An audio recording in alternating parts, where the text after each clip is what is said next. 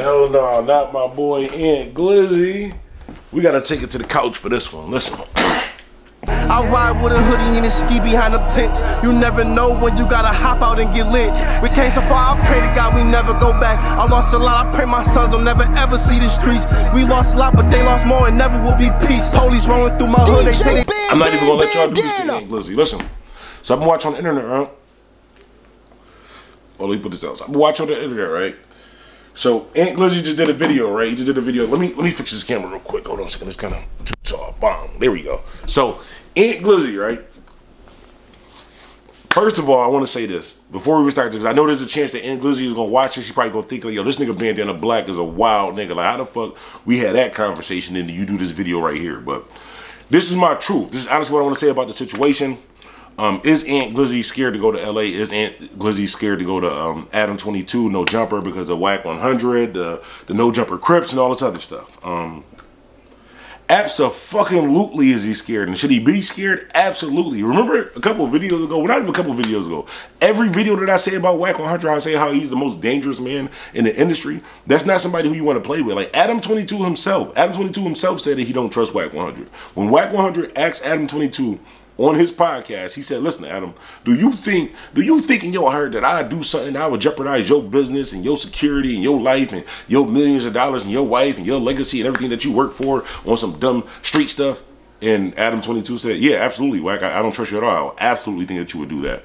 Um, and so if Adam twenty two doesn't trust this, the people that run his platform. But at this point, let's be serious, bro. Adam 22, No Jumper is run by gang members. I agree with Ant Glizzy. So even though I'm saying Ant Glizzy is scared to go to LA, I would be scared to go too, nigga. It's not about being scared. It's about being smart, motherfuckers. It's not be, like y'all call it being scared. It's about being smart and staying alive. Like that shit is stupid. If you know you're going into a situation that's not controlled and you have pretty much no wins in the situation, then why the fuck go? So the fans can say that you cool. So the fans can say you a real nigga. So the fans can say you a street nigga. So you could end up with your top popped off. You get knocked out of your crocs or some shit like that out in LA playing around. Um, it's just not a smart idea. So I salute Ant Glizzy, but the, the reason why I salute Ant Glizzy is because he could have took the easy way out, right? Ant Glizzy was beefing with uh, a lot of people from Chicago. Ant Glizzy was beefing a lot of people from his own city. He could have took the easy way out. He could have went to know because honestly, realistically, the chances of something happening to Ant Glizzy at No Jumper is slim to none. Only because at the end of the day, you're gonna fucking get sued. Adam is worried about getting sued. Forget all the street gang stuff. Yeah, that's gonna happen, and that's gonna happen. But he's scared of getting sued. He's not gonna invite you out there, and something's gonna happen to you getting sued. So the fact is, nothing's gonna happen to you. But it's just not a, a smart idea because it's not the fact of something happening to you. Where, say for example nothing physically might happen to you, but Wack 100 might just pop up mid interview and say, "Yo, I want to ask you these three questions, and I want, I want you to give me an answer." Why you on live interview at Adam 22 platform with a hundred Bloods, a hundred Crips? Because you know he's from Piru. That's what I'll be saying, man. You know, you know, Wack 100 when he get into it with somebody, he turn into Ja Rule. He got a hundred Bloods, a hundred Crips. He's from Piru. This nigga can put uh, this nigga, this nigga's the leader of every gang. Like this, nigga, I've heard him argue with everybody on Clubhouse and any gang, like anywhere you at. Like say there's a gang called the the Brown Short Posse. He knows somebody from the Brown Short Posse. He's leaning on somebody from the Brown Short Posse that can flip on you. Like this nigga is dangerous. Like not only is he the, the leader of every gang, not only his gang can he put on you, he can put everybody else gang on you. He could put the police on you because he fuck with six nine and the rest of the stitches and stuff. Because remember, he can turn off his whole. Well, I'm not a street guy today. I'm, I'm being a business guy today, so I, can, I can fuck with the snitches. Or I'm not a snitch today. I'm a I'm a, I'm a Piru today, so I, I can't do this. So he can switch back and forth. That's not somebody who you really want to get involved in. You what I'm saying? That's not somebody who you want to be in a situation with. So I think Ant Glizzy is right. I think I, I do think that he's scared to go to LA, but I think he has a reason to be scared. It's called being a grown man and being smart, man. Nigga, like you're not you're gonna be in a compromise you might be in a compromising position that'll be bad for your brand, You're right. So yeah, that situation, they might not put hands on you, but if he get on here and say some shit like I don't know, you might just ask you some shit that you don't want to answer on live or something like that. I mean, that's an uncomfortable situation. You got a hundred bloods, a hundred crips behind the camera and just Wack 100 ask you some shit right here Adam 22 playing it. Well, I'm just a stupid white boy. I don't know anything, so I'm a citizen. I'm gonna do the same thing that Akademiks was doing. As long as I say I'm a citizen, it don't have nothing to do with anything. No, nigga, you're a gang member too, Adam 22. Whether you whether you decide or not, nigga, you pick the side, my nigga. You pick the side, Adam 22. You can't. Those days that you want Akademiks to say, you know what, I can be with street people. I can talk about street shit. I can stir street beefs. I can egg on street beefs and all that. But if anything happens to me or my family, get mad at me. I can nope. I'm a citizen. I'm a white boy. I'm not from the hood. Nigga, you've been around these hood niggas more than me, and I'm from the hood, my nigga. You been doing, you know how long you've been doing this No Jumper podcast, my nigga. So all that, I'm not from the hood shit. I'm, not, I don't know anything about the street shit. You know all. I know about the street shit because the shit was on your platform. I, I don't know anything. Only thing I knew about the Bloods was Jim Jones and Dipset, bro. Well, Game too, and maybe well, I don't really count him. Uh, do we count? Uh, he's from New York, so we don't count him. But Game, uh, Dipset.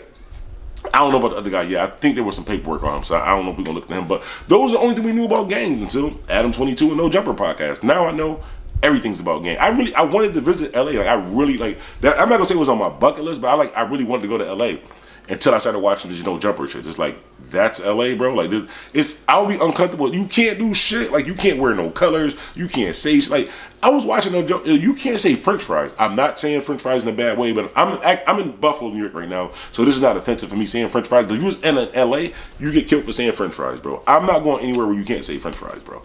That's crazy. But anyways, man, shouts out to the boy Ant Glizzy. Um, Ant, if you're watching this, man, keep doing what you're doing. Honestly, bro, if you're watching this, you worth more than what you asking right now.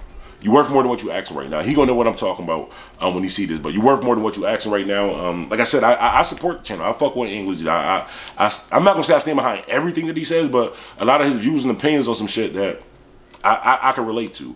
Um, not so much heavy on the. Um, I think you got to be careful. I think you got to like, you got to find like.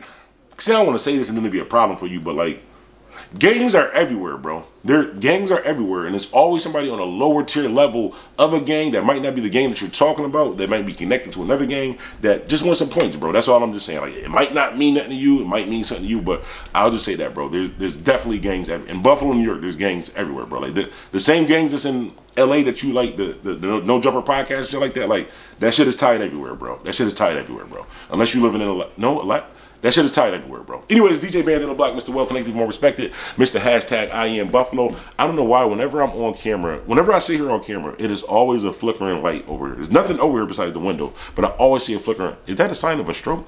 Get them the gates. Anyways, we out. DJ Bandana Black and Doris Records. Yeah, man. Bandana Black, you know, he always played local music, you know, for Buffalo, man. We that was the only DJ we really had. You know what I'm saying? And um, he always showed love, man. He always been a fan. You know, since day one. I knew him before.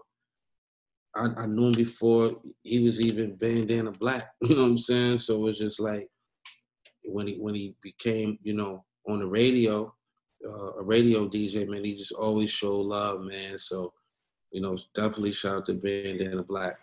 Yeah, Eve, will you bandana black? DJ Band Band Bandana.